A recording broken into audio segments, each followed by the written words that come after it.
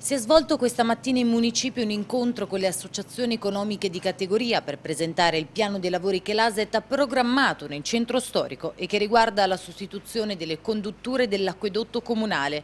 Erano presenti gli assessori ai lavori pubblici Marco Paolini alle attività produttive Carla Cecchetelli e l'ingegner Matteo Lucertini di ASET. Paolini ha ricordato come questo intervento di bonifica sia necessario e non più rinviabile a causa delle perdite che si registrano in rete e dei conseguenti contenuti contenziosi che sorgono con la società partecipata. Ha sottolineato inoltre che l'opera consentirà di riqualificare il centro grazie al rifacimento della pavimentazione. L'erogazione dell'acqua non sarà mai interrotta e gli accessi ai negozi verranno garantiti mediante tavole di passaggio. Attenzione verrà posta anche al problema delle polveri e delle operazioni di scarico merci. Occorrerà inoltre trovare un'altra destinazione temporanea sia per gli hobbisti dell'antiquariato, in particolare nella seconda domenica del mese mese di maggio, sia per alcuni ambulanti di piazza 20 settembre. Eh, riguardano alcune bancarelle che sono proprio lato Corso Matteotti, quindi a queste bancarelle dovrà essere ritrovata una giusta collocazione per non poi danneggiarle anche per l'attività eh, del commercio. Si sta facendo di tutto per cercare di anche di allevare e di creare men eh, meno disagio possibile, possibile sia ai cittadini che agli operatori economici perché come sappiamo sono in forte crisi e debbono eh, logicamente lavorare. Dalle associazioni è venuto l'invito a sfruttare i giorni di bel tempo rinforzando la manodopera o magari allungando l'orario di lavoro su più turni.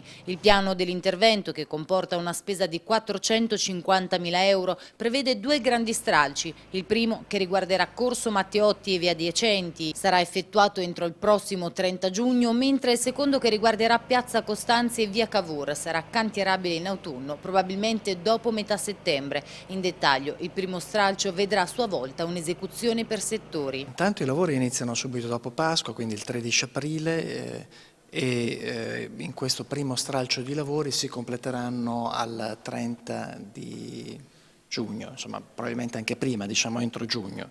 Il primo stralcio di lavori interessa Corso Matteotti da via Arco d'Augusto chiaramente a via Garibaldi, quindi tutto quel tratto. E poi a settembre, dal 30 settembre al 30 novembre, si faranno le aree di Piazza Costanzi e via Cavour.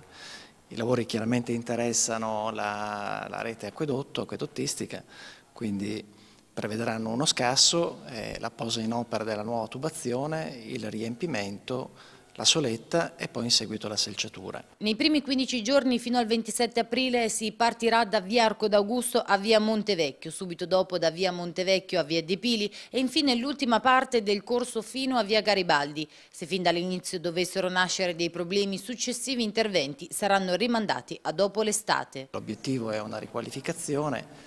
Eh, sul cantiere vi saranno sempre i responsabili, quindi qualsiasi eh, richiesta insomma, verrà presa in considerazione per alleviare eventuali problemi. Insomma, ecco.